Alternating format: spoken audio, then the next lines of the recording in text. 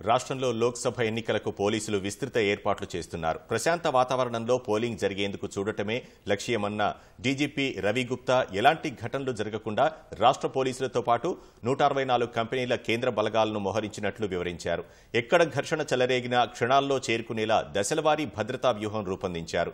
ఈవీఎంలను strong రూమ్కి తరలించే వరకు భద్రత కొనసాగుతుందని పోలీసులు వెల్లడించారు. రాష్ట్రంలో లోక్సభ ఎన్నికలను ప్రశాంతంగా నిర్వహించేందుకు పటిష్ట భద్రతా ఏర్పాట్లు చేసినట్లు డీజీపీ రవిగుప్తా వెల్లడించారు.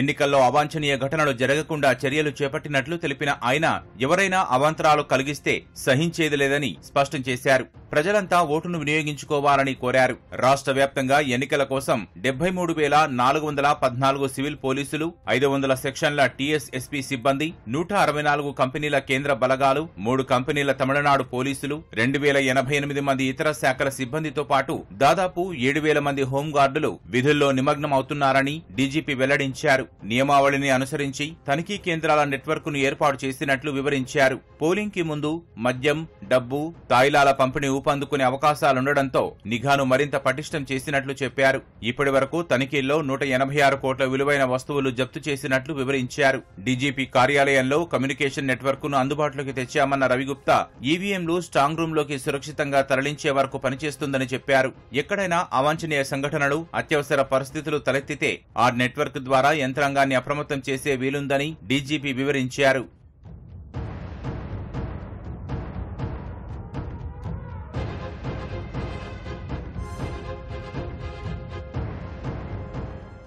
హైదరాబాద్ సైబరాబాద్ రాచకొండ పోలీస్ కమిషనరేట్ల పరిధిలో ఎనిమిది లోక్సభ నియోజకవర్గాలు విస్తరించి ఉన్నాయి. హైదరాబాద్ సికింద్రాబాద్ మల్కాజ్గిరి పూర్తి స్థాయిలో చేవెళ్ళ భువనగిరి ఎక్కువ భాగం నాగర్ కర్నూలు మహబూబ్ నగర్ మెదక్ పాక్షికంగా ఆ పోలీస్ కమిషనరేట్ల వీటి పరిధిలోకి వస్తాయి. మొత్తం పదివేల ఆరు వందల ముప్పై రెండు పోలింగ్ కేంద్రాలుంటే అందులో ఒక వెయ్యి తొమ్మిది వందల అరవై ఆరు సమస్యాత్మకమైన ప్రాంతాల్లో ఉన్నట్లు అధికారులు గుర్తించారు. ఆ కేంద్రాలపై ముగ్గురు పోలీస్ కమిషనర్లు దృష్టి సారించారు. సమస్యాత్మక పోలింగ్ కేంద్రాల్లో ఏ ఇబ్బంది రాకుండా ప్రత్యేకంగా బలగాలను మోహరించినట్లు వివరించారు. ఎన్నికల విధుల్లో ఉండే వివిధ విభాగాలతో సమన్వయంపై పోలీస్ కమిషనర్లు శ్రీనివాసరెడ్డి అవినాష్ మహంతి తరుణ్ జోషి ఇప్పటికే సిబ్బందికి మార్గనిర్దేశనం చేశారు. క్షేత్రస్థాయిలో విజిబుల్ పోలీసింగ్తో పాటు కమాండ్ కంట్రోల్ కేంద్రాల ద్వారా ఉన్నతాధికారులు ఎప్పటికప్పుడు పరిస్థితిని పర్యవేక్షించనున్నారు.